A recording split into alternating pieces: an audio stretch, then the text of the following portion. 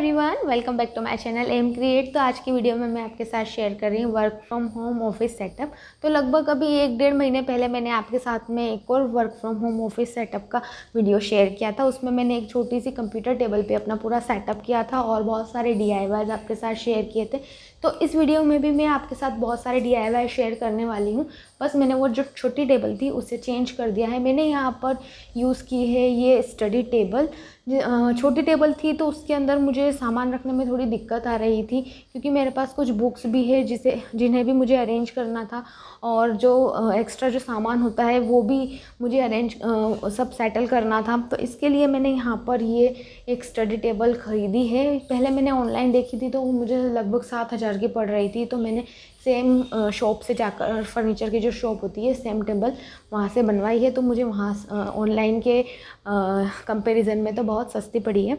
अब मैं धीरे धीरे इस टेबल पर अपना सामान जमाना स्टार्ट करती हूँ तो जैसा कि आप देख सकते हैं लैपटॉप मैंने रख दिया है और सामने जो ये छोटी छोटी शेल्फ़ है, यहाँ पर मैं अपनी सारी बुक रख दूँगी।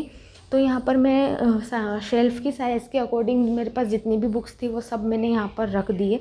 इस शेल्फ़ में आप नीचे की साइड देखेंगे तो नीचे की साइड भी यहाँ पर काफ़ी सारी बुक्स रखने के लिए शेल्फ़ है। तो वहाँ पर भी रख सकते हैं। अभी मैं नहीं रख रही हूँ क्योंकि मेरी छोटी सी एक साल की बेटी है तो वो सब बिखेर देगी। अब मैं यहाँ पर ये यूज़ कर रही हूँ।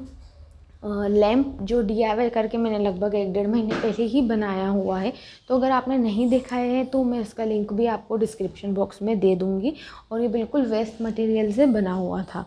अब इसके साइड में मैं रख रही हूँ एक प्लांटर जो कि मैंने पहले वाले जो सेटअप था उसमें भी यूज़ किया था और इसी साइड में रखा था।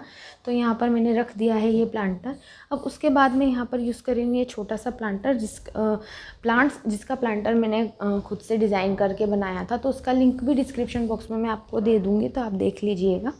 अब उसके बाद एक और ये छोटा सा मिनीचर प्लांटर है। ये वाटर प्लांट है। तो इसके अंदर मैंने वाटर वाटर वाले प्लांट लगाया है। मनी प्लांट को वाटर के अंदर लगाया है। तो इस प्लांट इस छोटे से मिनीचर प्लांटर का भी मैं आपको लिंक दे दूँगी तो आप देख लेना। अब यहाँ पर मैं नेक्स्ट डीआईवाई के लिए जो मैं आपको इसी वीडियो में आपके साथ शेयर कर रही हूँ तो इसके लिए लिया है मैंने एक सीएफएल जो ख़राब हो चुका था।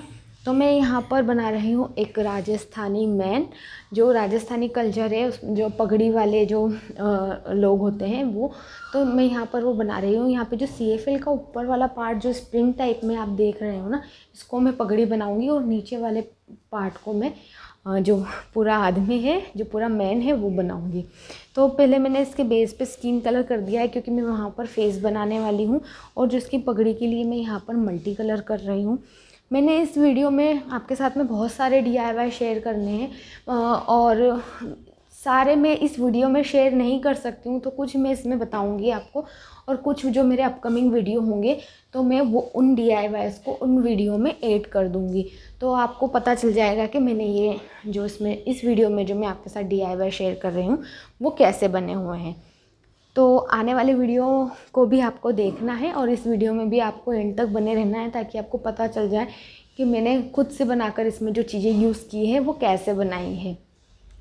तो अब मैंने यहाँ पर पगड़ी को मल्टी कलर में से पेंट कर दिया है। अब यहाँ पर हम पगड़ी में प्रिंट डालेंगे वाइट कलर की। तो यहाँ पर मैंने वाइट कलर की इस पगड़ी में प्रिंट डाल दी है और धीरे धीरे और हमें इसे सूखने देना है क्योंकि ये सी एफ़ एल है। तो ये थोड़ा टाइम लगेगा इस पर इस पर से कलर सूखने में तो इसको सूखने के लिए अच्छे से हमें रख देना है। अब मैं इसका फेस बना बना रही हूँ। सारे डी मैं इस वीडियो में इसलिए नहीं बता सकती क्योंकि वीडियो की लेंथ काफ़ी लंबी हो जाएगी। तो फेस लगभग बन चुका है। अब इसके नीचे की बॉडी बनाने के लिए मैं यहाँ पर पेपर का एक छोटा सा कप यूज़ कर रही हूँ और ये काफ़ी अच्छी क्वालिटी का है।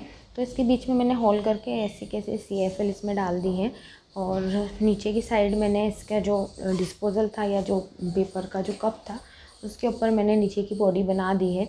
तो हमारा डी आई वाई बनकर रेडी है और इसे मैं रखने जा रही हूँ सामने टेबल पर। तो यहाँ पर मैंने इसको रख दिया है प्लांट के पास में, जो काफ़ी अच्छा अच्छा लुक दे रहा है क्योंकि थोड़ा कलरफुल है तो ये काफ़ी अच्छा लग रहा है। अब यहाँ पर मैंने ये फेस जो मेटलिक लुक में मैंने ये जो फेस बनाया था तो ये भी मैंने पहले वाले सेटअप में ऐड किया था और मैं अभी भी जो ऐड कर रही हूँ, और लिंक इसका डिस्क्रिप्शन बॉक्स में दे दूँगी। मैंने यहाँ पर ऐसे बहुत सारे कोस्टर आप बोल सकते हो या डाइनिंग मेट्स बोल सकते हो, ये मैंने वी मार्ट से ख़रीदे थे।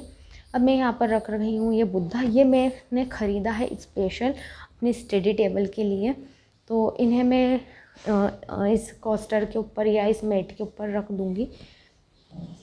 अब इन, यहाँ पर मैं यूज़ कर रही हूँ, ये एक बोतल तो इसका भी मैंने वीडियो बना के डाल रखा है तो मैं लिंक आपको डिस्क्रिप्शन बॉक्स में दे दूँगी। मैंने यहाँ पर सारे डीआईवाई ही यूज़ किए हैं, जो मैंने पहले बना रखे हैं या नए भी बनाए हैं। तो ये सारे डीआईवाई मैं आपके साथ में शेयर करती रहती हूँ, क्योंकि कुछ तो मैंने पहले वीडियो डाल रखे हैं और कुछ के मैं अभी डाल दूँगी। तो ये वॉच है, ये वॉच भी मैंने खुद से बनाई है तो इसका वीडियो मैं, इस वीडियो में नहीं दे सकती थी आपको। इसलिए मैं इसका वीडियो आपको जो बाद में मेरे अभी वीडियो आएँगे, इस वीडियो के बाद में तो उसमें मैं आपको बता दूँगी। तो यहाँ पर जो मैंने, यहाँ पर जो छोटा सा कैंडल रखा था, ये जो अभी आप देख रहे हो तो ये कैंडल भी मैंने डीआईवाई करके बनाया हुआ है। तो इसको भी मैं आपको बाद में जो अभी वीडियो डालूँगी ना, उसके, उसमें ऐड कर दूँगी। हो सकता हो मैं इसको शॉर्ट्स में आपके साथ शेयर करूँ। तो इसलिए आप चैनल को फटाफट से सब्सक्राइब कर लीजिए, क्योंकि बहुत सारे इंटरेस्टिंग डी और क्योंकि अभी दिवाली आने वाली है तो दिवाली से रिलेटेड इतने सारे डीआईवाई हैं जो मैं आपके साथ शेयर करने वाली हूँ जिसके मैं लॉन्ग वीडियोस भी डालूँगी और शॉर्ट्स तो मैं डेफ़िनेटली डेली डालती ही हूँ।